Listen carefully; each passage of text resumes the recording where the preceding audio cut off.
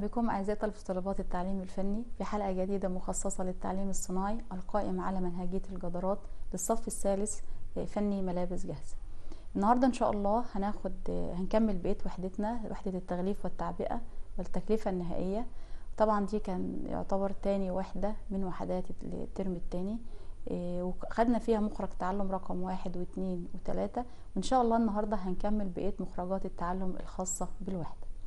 قبل ما أدخل على الوحدة بحب أذكركم بس بالمخرجات بتاعة التعلم بتاعتنا. كان مخرج تعلم رقم واحد كان إجراءات السلامة والصحة المهنية.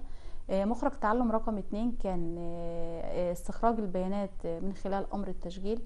مخرج تعلم رقم ثلاثة اللي هو الأدوات هتعرف على طريقة التغليف من خلال معرفتي للأدوات الخاصة بالتغليف والتعبئة. مخرج تعلم اللي جاي إن شاء الله رقم أربعة هيبقى هبدأ إن أنا أأكد جودة التغليف والتعبئة. بعد ما غلفت وعبأت وحطيت الحاجة بتاعتي زي ما العميل عاوز أو حسب أمر التشغيل هبدأ بعد كده أأكد الجودة بتاعة التغليف والتعبئة.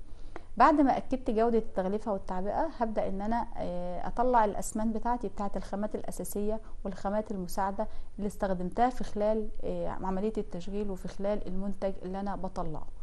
بعد ما بطلع عملية التسمين تسمين الخامات الأساسية والمساعدة بدخل بعد كده أبقى عايزة أتعرف إزاي أجيب أجور العمال اللي هم اشتغلوا معايا من خلال العملية اللي أنا عملتها. بعد كده ببدأ إن أنا أطلع سعر بيع المنتج الواحد. ده كانت بالنسبة لي مخرجات التعلم الخاصة بوحدة التغليف والتعبئة النهائية.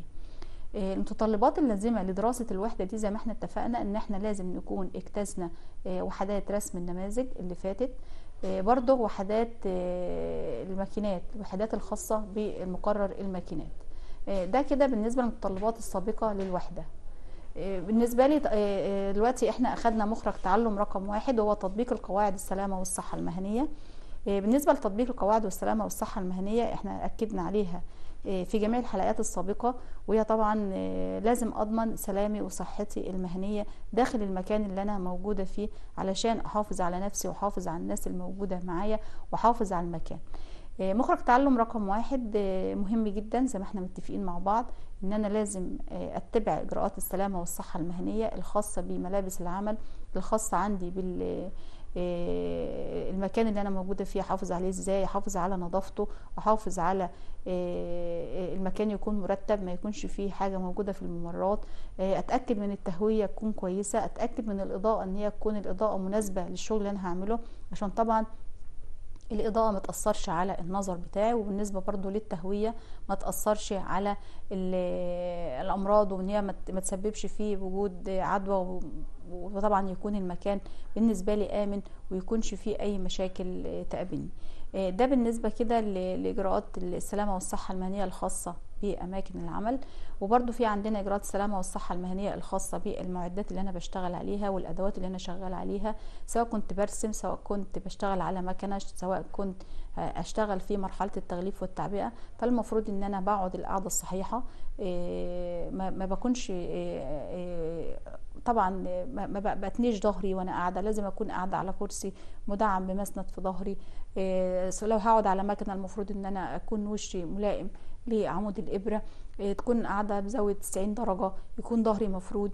طبعا كل ده طبعا على حفاظا على سلامتي المهنية وأكون قاعدة مستريحة علشان ما يحصليش مشاكل بعد كده. بنأكد برضو على الملابس بتاعتي لما يكون طبعا اللبس الكعب العالي والإكسسوارات والحاجات دي كلها. طبعا إحنا حفظنا كل ده من خلال الوحدات السابقة إحنا بنأكد عليها كل مرة. برضو بتأكد بأكد برضو على اللوائح والتعليمات واللافتات اللي محطوطة المفروض إن أنا أتبعها وما خالفهاش لأن طبعا ده كله بيأثر على العمل اللي إحنا موجودين فيه. وإحنا متفقين واتفقنا في الحلقات السابقة ودايما بنأكد عليها إن أنا لو حافظت على سلامتي وصحتي المهنية والمكان اللي أنا موجودة فيه إن شاء الله مش هيحصل فيه أعطال في العمل. لأن طبعا الأعطال اللي بتحصل في أثناء عملية التشغيل وأثناء المراحل المختلفة للتشغيل بيتوقف عليها طبعا إن أنا الشغل بتاعي بيتعطل. فبالتالي مش هطلع المنتج بتاعي أو الطلبية المطلوبة مني في الميعاد المحدد لها مع العميل.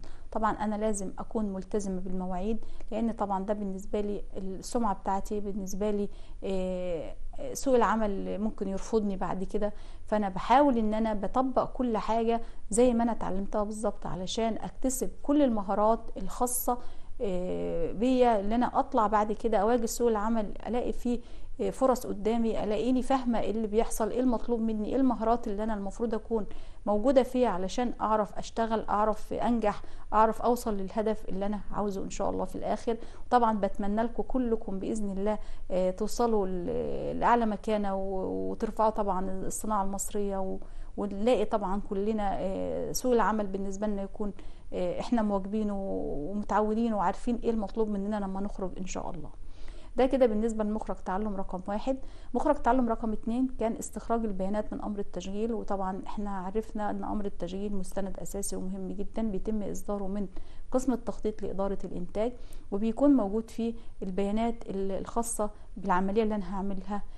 طبعا إحنا دلوقتي في وحدة التغليف والتعبئة فالمفروض إن يكون العملية المراد معرفتها أو المفروض إن أنا هعملها إن أنا هغلف قميص رجالي هغلف بلوزة هغلف تيشيرت آه، هغلفه إزاي؟ إيه الأدوات المستخدمة عندي؟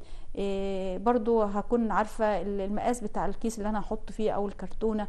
آه، بعد ما بخلص هحطه في كرتونة شكلها إيه؟ هستخدم طريقة التغليف طريقة الطي ولا طريقة التعليق ولا إيه إيه الطريقة بالظبط اللي أنا هستخدمها في عملية التغليف والتعبئة النهائية؟ ده كده بالنسبة لي كان في أمر التشغيل. آه، أمر آه، بالنسبة لمخرج تعلم رقم ثلاثة وهو آه، طبعا كلنا عايزين نعرف بقى أنا هغلف إزاي فلازم أكون عرفت الأدوات اللي أنا هستخدمها في التغليف طبعا من الأدوات اللي إحنا بنستخدمها في التغليف إحنا كلنا عارفينها لأن إحنا بننزل نشتري حاجاتنا وبنبقى موجودين في المحلات فبنشوف إن القميص مثلا متغلف في كيسة أو محطوط في كرتونة أو محطوط متعلق على شماعة أو أي شكل من الأشياء. مهمة جدا لأن طبعا أنا لو ما غلفتش المنتج وعبأته بالطريقة الصحيحة فطبعا أنا كده مش مش هحقق الهدف العام من من التغليف والتعبئة. الهدف من التغليفه والتعبئة الحفاظ على المنتج. الحفاظ على المنتج من التلف. الحفاظ على المنتج من بعد كده ممكن يكون في مشاكل بالنسبة لي في المنتج بتاعي ممكن يكون مثلا الجو مش كويس وأنا بنقل المنتج من مكان لمكان فبيسبب لي بعد كده مشاكل كتيرة ممكن يكون إهدار للمنتج بتاعي حصل له مشكلة بعد ما أنا قعدت كلفت واشتغلت فيه فبطلع في بعد كده عملية التغليف والتعبئة طلعتش بالطريقة الصحيحة فبالتالي المنتج بتاعي مش هيكون طالع بالشكل اللي أنا محتاجاه. وبرده المظهر الجمالي مهم جدا في عملية التغليفة والتعبئه يعني أنا بالنسبة لي المرحلة دي مرحلة مهمة جدا في المنتج النهائي. لازم أكون آه، متبعة فيها المواصفات الفنية اللازمة في عملية التغليف والتعبئة. طبعا أنا ببقى متفقة مع العميل هو عايز إيه بالظبط. لو جينا رجعنا تاني نتكلم على أدوات التغليف والتعبئه زي ما إحنا اتفقنا إن أنا لما بنزل أشتري حاجة فأنا بشوف الأدوات بشوف المنتج بتاعي متغلف إزاي. لو بصيت كده هلاقي فيه عندي أكياس محطوط في ممكن في كيس الكيس ده ممكن يكون مقفول بطريقة آه، أو ضغط حراري عليه فبالنسبة لي الكيس محطوط في قلبه المنتج ومتغلف معايا مقفول عليه.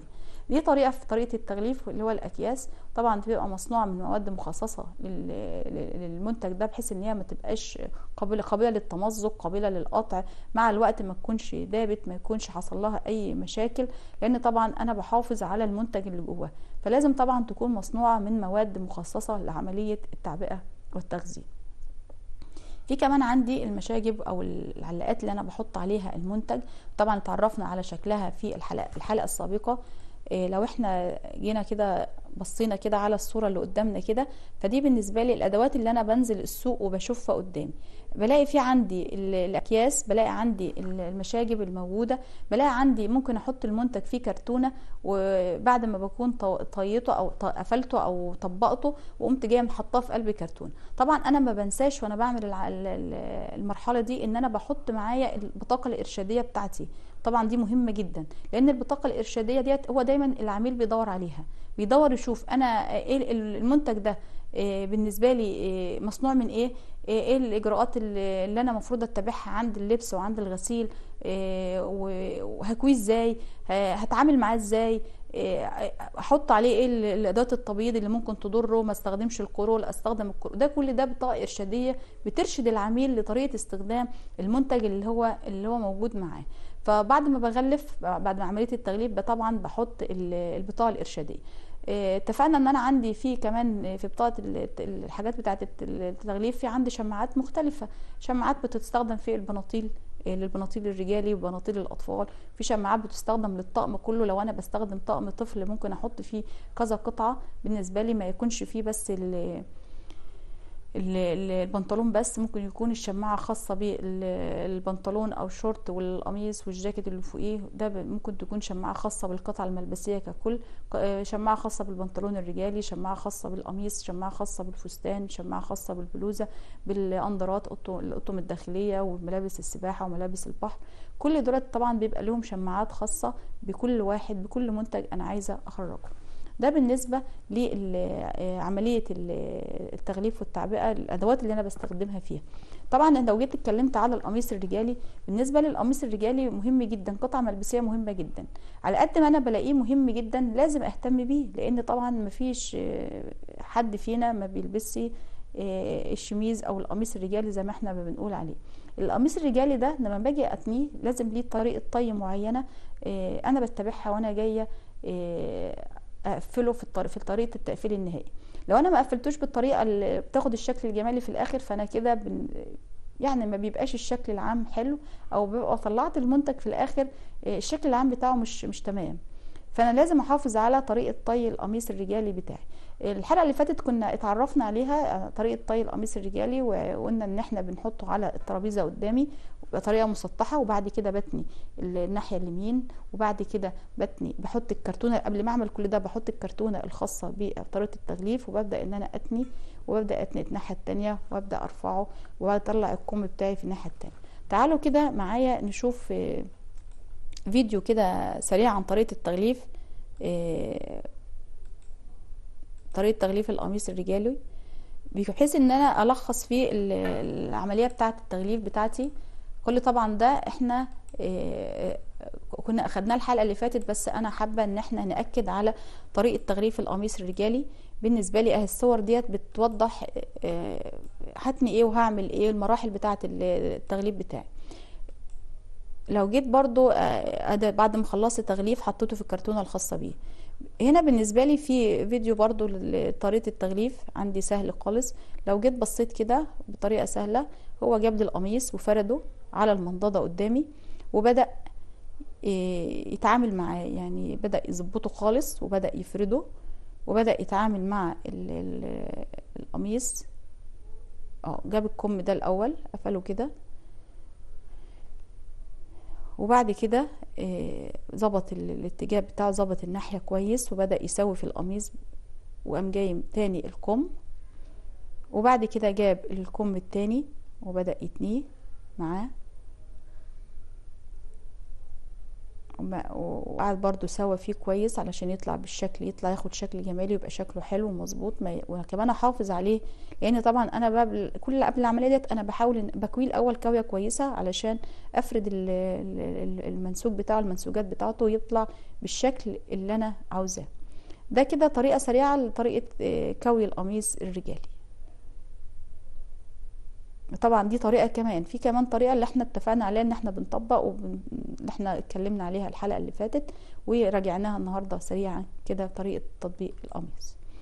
هندخل على مخرج تعلم رقم واحد وهو تأكيد جودة التعبئة. هبدأ بقى بعد أنا ما عبأت ال- المنتج بتاعي وحطيته في قلب الأكياس وبعد كده أو حطيته في قلب الكرتونة زي ما إحنا اتفقنا مع العميل هو عايز إيه بالظبط هبدأ أأكد جودة التعبئة بتاعتي.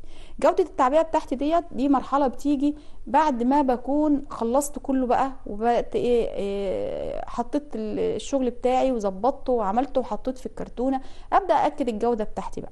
أول حاجة في الحاجات اللي أنا المفروض اكد عليها إن أنا بكون بتأكد إن إن الطي بتاعي أو أو التعليق اللي أنا عملته للمنتج تم بشكل سليم ومناسب. يعني بعد أنا ما كويت القميص وطبقته وحطيته في قلب الكرتونة أو علقته زي ما هو مطلوب مني يكون الشكل بتاعه في الآخر مدي شكل جمالي ما يكونش متكرمش ما يكونش فيه آه، حاجة مثلا مش موجودة عندي بعد عملية التطبيق ما يكون في زرار طار يكون في ال- الياقة مش مظبوطة الط- الطريقة اللي أنا عملت بيها برضو مخالفة ما هيش مظبوطة قد كده. وبرضو هستخدم مستلزمات تغليف مناسبة لنوع المنتج بالأسلوب الصحيح لازم يكون حتى لو العميل طلب مني مثلا تغليف معين وأنا لقيته مش مناسب ليا أو مش مناسب للمنتج اللي أنا طلعته ومش مناسب مش مدي مظهر جمالي وهيطلع في السوق بعد كده. مش كويس. المفروض إن أنا أرجع للعميل وأتكلم معاه وأشوف حل للموضوع ده أقول له مثلا إن طريقة التغليف ديت مش مناسبة للنوع المنتج. لازم إن إحنا نطلع المنتج بالطريقة المناسبة عشان هيخرج في السوق. وبرده ان ان, أنا هراعي إن تكون أنواع ومقاسات العبوات والأكياس ديت مناسبة لنوع وحجم المنتج. يعني أنا لو بعمل مثلا قميص طفل مثلا وببدأ أغلفه المفروض إن هو ليه ليه كيس صغير بناء على مقاس الطفل. لو أنا بستخدم لو أنا بعمل تيشيرت بولو بعمل بلوزة بعمل فستان بعمل أندر وير طقم داخلي بعمل أي حاجة المفروض إن أنا نوع العبوة والمقاس بتاعها يكون مناسب لنوع وحجم المنتج اللي أنا ببدأ إن أنا أكيسه وببدأ إن أنا أعمله. هصنف البطاقة بتاعة المواصفات في حط المكان البطاقة بتاعة المواصفات بتاعتي في مكانها الطبيعي تبع لنوع المنتج زي ما إحنا اتفقنا. إيه إن إحنا لو جينا مثلا نعمل قميص رجالي فببدأ أحطه قدام وببدأ أشبكه ممكن أحطه فيه زرار أو ممكن أحطه فيه البطاقة الإرشادية بتبقى موجودة معايا متخيطة عندي في قلب المنتج ذات نفسه وأبدأ إن أنا أحط البطاقة الإرشادية في المكان الصحيح. بعد ما بكون خلصت كل ده ببدأ إن أنا أضيف المستلزمات المكملة المناسبة للمنتج الأزرار الإضافية وأحطها في مكانها الصحيح بحيث إن لو حاجة تلفت مني في في القميص أو في المنتج اللي أنا شغالة عليه أو اللي أنا بغلفه بيبقى موجود فيه حاجة إضافية كده محطوطة في كيس ومتدبسة أو متخيطة في قلب القميص من جوه بحيث إن العميل يشوف إن أنا عندي فيه زرار إضافي. أنا لو الزرار اللي أنا اللي أنا استخدمته أو اللي أنا بستخدمه أثناء الاستخدام حصل له عملية تلف أو أي حاجة ممكن إن أنا أستبدل الزرار بالزرار الموجود اللي هو اللي بيبقى موجود احتياطي. بيكون تغليف المنتج بالطريقة الصحيحة تبع لنوع المنتج. يعني أنا هغلف المنتج بالطريقة الصحيحة اللي متبعه لنوع المنتج يعني أنا لو عندي قميص رجالي المفروض إن أنا بعمل عملية الطي بتاعته صح وأبدأ إن أنا أكيسه أو إن أنا أحطه في العلبة وببدأ يتحط إيه بطريقة صحيحة. مش مثلا إن أنا أحطه كده فوق بعضه. بعد ما عملت عملية تشغيل وكويت وظبطت المنتج المفروض عملية التغليف بقى بتتم بطريقة صحيحة بحيث إن أنا ما اذيش المنتج اللي طالع معايا ما يروحش بعد ما عملت كل ده وألاقي المنتج متكرمش طالع شكله مش حلو طالع منظر جمالي ما فيش منظر جمالي وألاقي الشغل اللي أنا عملته في كل المراحل ضاع في عملية التغليف والتعبئة أو لما المنتج النهائي طلع في المرحلة ديت طلع طبعا شكله مش تمام. برضو تكون تعبئه القطع بعد تغليفها ملائم لقواعد التغليف والتعبئة. عندي قواعد ان أنا مثلا الكرتونة اللي أنا هستخدمها بعد عملية التعبئة المفروض تكون الكرتونة متينة ما يكونش مثلا الكيس أو اللي أنا عبأت فيه الكيس بتاع التعبئة بتاعتي يكون من مصنوع من من من مادة رديئة أو ماده مش مناسبة. ممكن بعد كده أبص ألاقيها الكيس بتاعي أو القطع أو المنتج اللي أنا حطيته فيه أو الكيس اللي أنا استخدمته ممكن يتقطع مني بسهولة جدا وألاقي القطعة بتاعتي مش مغلفة. وممكن طبعا يحصل لها عملية تلف يتدلق عليها حاجة تحصل لي أي مشكلة في عملية الانتقال أو في بعد كده لما المنتج بيروح في مكان اللي أنا هبيع فيه بلاقي هو مش محفوظ بالطريقة الصحيحة. أو ممكن ده طبعا بيسيء لي لأن أنا ما غلفتش بالطريقة الصحيحة وأنا ما استخدمتش المواد بتاع التغليف والتعبئة مناسبة وملائمه لقواعد التغليف اللي إحنا اتعلمناها وأكدنا عليها في المخرج اللي فات. بعد كده بعد ما أنا أكدت المخرج بتاعي بتاع تأكيد جودة التغليفة والتعبئة هدخل على تسمين الخامات التشغيل. المخرج ده مخرج مهم جدا ومخرج كبير. يعني محتاج مني إن أنا أكون فاهم هسمن إزاي إيه اللي أنا هعمله؟ هستخدم إيه بالظبط؟ هسمن إزاي؟ الطريقة إيه الخامات اللي أنا هسمنها؟ مطلوب مني طبعا قبل ما عملية التسمين إن أنا أكون متعلمة إزاي أحلل القطعه الملبسية. يعني أنا عندي أي قطعة ملبسية مكونة من أجزاء. إيه الأجزاء ديت؟ عندي أمام. الأمام ده بيكون لا إما جزء واحد لا إما بيكون مقفول من قدام فمديني جزء واحد. أو بيبقى إيه جزئين. لو أنا عندي مرد في النص أو أو سوستة أو أو أي فتحة في الأمام فبتقسم الأمام إلى جزئين. الخلف بالنسبة لي ممكن برضو يبقى جزء واحد أو يكون جزئين أو أكثر يعني على حسب الموديل اللي أنا اللي قدامي اللي المفروض إن أنا أبدأ أحلله. يعني أنا عندي كده لما أجي أحلل التصميم من حيث الأجزاء المكونة له عندي الأمام. الأمام يمكن يكون جزء واحد أو أكثر الخلف يمكن يكون جزء واحد برضو أو أكتر. الكم بيتكون طبعا إحنا كلنا بنشوف الموديلات اللي موجودة في السوق. ممكن يكون كم واحد وممكن يكون كمين حسب الموديل اللي موجود وممكن يكون الكم الواحد متجزأ لكذا كذا جزء. يعني ممكن يكون في جزء علو مثلا في الكم وصادر منه في كورنيش أو صادر منه في جزء تاني في الكم من تحت فبيقسم لي الكم لقطعتين يعني التص... الكم بيتكون من اتنين كم في الغالب زي ما إحنا بنشوف أو ممكن يتجزأ الكم الواحد لأكثر من جزء.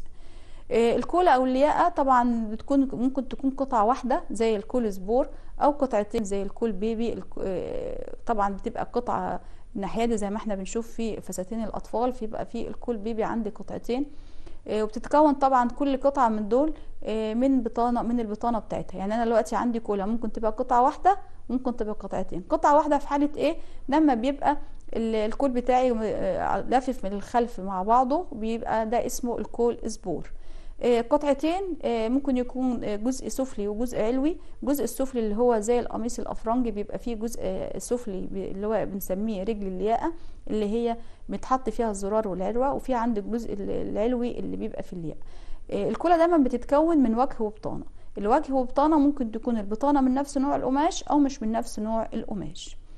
عندي برضو بنلاقيها دايما موجودة في الأكمام أو حسب التصميم برضو إن أنا عندي إسورة لكل كم إسورة زي ما إحنا عارفين. الإسورة بتتكون من إيه؟ من إسورة وبطانتها بتتكون من طبقتين الإسورة بتتكون من إيه؟ من الإسورة وبطانتها طبعا ديت الأجزاء اللي موجودة عندي من حيث العدد. يعني أنا عمالة أعد في الأجزاء. الأمام قطعتين مثلا أو قطعة. الخلف قطعتين أو قطعة. الكم كمين أو كم واحد حسب التصميم.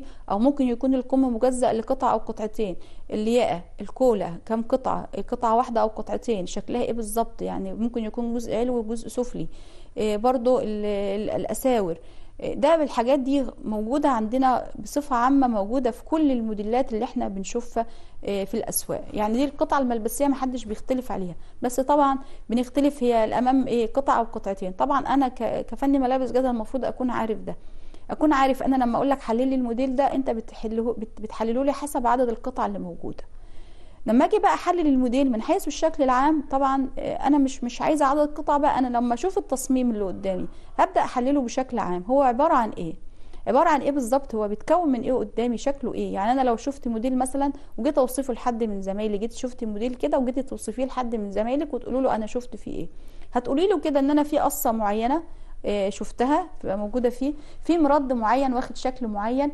في عندي مثلا كشكشة في عندي كسرات في عندي كولا واخدة شكل معين في عندي توسيع معين في عندي الكم واخد شكل معين في كشكشة الكم فيه كسرة الكم بليسيه على حسب الشكل اللي عندي. يعني أنا دلوقتي عندي تحليل الموديل من حيث عدد الأجزاء اتفقنا إن إحنا عدد الأجزاء ده على حسب الأجزاء المكونة له. لو أنا عندي مثلا الأمام قطعة واحدة أو قطعتين حسب التصميم قطعة واحدة لما بيكونش عندي فتحة في في القدام أو ما فيش عندي زراير أو ما فيش عندي أي فتحات في الأمام بيبقى ده بالنسبة لي قطعة واحدة.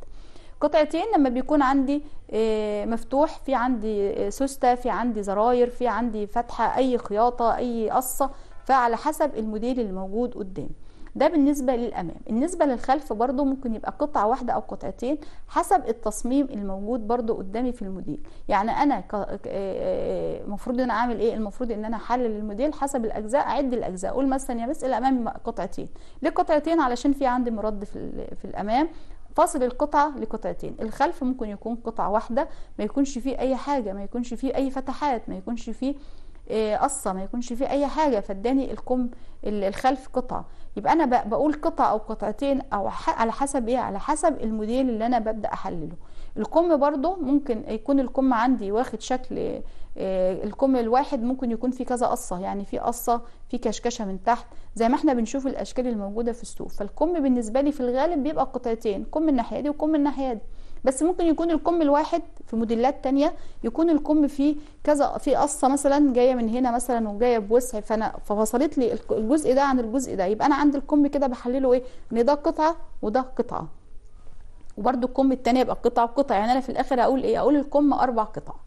بالنسبة للكولا في عندي كولا قطعة واحدة أو كول قطعتين. الكولا القطعة الواحدة اللي هي الكول سبور. اللي إحنا كلنا عارفينها. آه، الكول القطعتين بيبقى ممكن تكون موجودة في الكول بيبي اللي هو في ملابس الأطفال اللي هو بيبقى فيه جزء كده وجزء كده الكول اللي هو البيبي بتاع الأطفال الصغيرين. أو ممكن يكون آه، كول آه، آه، قطعتين زي برضو القميص الأفرنجي أو القميص الشميز بيبقى فيه موجود قطعة آه، سفلية وموجود قطعة علوية وطبعا ده بيقسم لي إن الكوله قطعتين. برضو عند الكول اللي قطعة واحدة الكول بحاري. إحنا طبعا المفروض إن إحنا بنكون أخدنا الأكوال عندي في الصف الأول والثاني فأنت كطالب المفروض تكون عرفت الأكوال وعرفت يعني الأكوال على اختلاف أشكالها آه، بيبقى ليها لكل كولة في لها اسم في عند الكول شال برضو الكول شال ممكن يكون متصل وممكن يكون آه، يكون منفصل. في حالة إن هو منفصل فبيبقى برضو آه، قطعة واحدة آه، عندي بيبقى قطعة واحدة ال- الكولة بيبقى ليها آه، قطعة والبطانة بتاعتها. وبرضو بنأكد إن أنا ممكن يكون عندي ال- البطانة بتاعت الكولة عندي بتبقى من من نفس نوع القماش أو ما تكونش من نفس نوع القماش ويكون بقماش مختلف. آه، بالنسبة للكولا القطعة واحدة فإحنا بنقول إن هي قطعة لأن هي بنجيب الكولا بالبطانة بتاعتها. القطعتين أنا بشتغل على القطعتين كل قطعة بمفردها. بالنسبة للأساور برضو أنا عندي لكل كم أسورة. طب أنا ممكن ألاقي في تصميم فيه أسورة بس في كم والتصميم التاني ما فيهوش كم حسب الموديل اللي أنا شغال عليه. فأنا لما باجي أحلل الموديل بقول مثلا لو عندي الأسورتين عندي الأسورتين موجودين. ودايما الأسورة موجودة ببطانتها وبرضو زي ما لفتنا النظر إن ممكن تكون الأسورة بطانتها من نفس نوع القماش أو مش من نفس نوع القماش. لو جينا اتكلمنا بقى وأكدنا على التصميم من حيث الشكل العام فأنا بالنسبة لي التصميم من حيث الشكل العام آه، إحنا بنوصف الموديل. بن- بنحاول نشوف الشكل العام بتاعه بعيد عن الأجزاء طبعا. آه، تحليل الموديل من حيث الأجزاء ده حاجة والشكل العام ده حاجة تانية. الشكل العام بالنسبة لي لأن طبعا ما بتبقاش لما باجي أسمن الخامات أنا بحط قواعد فنية أنا بتبعها وأنا بحط تسمين الخامات يعني أنا بحط الكمية بتاعة الخامات يعني أنا عايزة أعرف كمية القماش. فأنا أنا مثلا عندي كشكشة فالمفروض أكون عارفة الموديل ده فيه نسبة كشكشة قد إيه المفروض عارفة يعني إيه كشكشة أصلا؟ كطالب المفروض عارفة إيه الكشكشة إيه الكسرات إيه الكالونيها. آه، كل ده أنا ما أكون ما أكون أنا المفروض أكون عارف يعني إيه كالونيها شكلها إيه بالظبط ده من حيث الشكل العام. يعني أنا لما أجيب موديل لك وأقول لك ده ده كالونيها ده كشكشة ده بليسيه فانت كطالب فالمفروض تبقى عارف تفرق بين القصة بين الكالونيها بين المردات وأشكالها. في عندي مرد بسيط متصل برد بسيط منفصل. في عندي مرد كالونيه. في عندي آه، مرد بسيط مع مع ال- الكولسبور والريفيرا.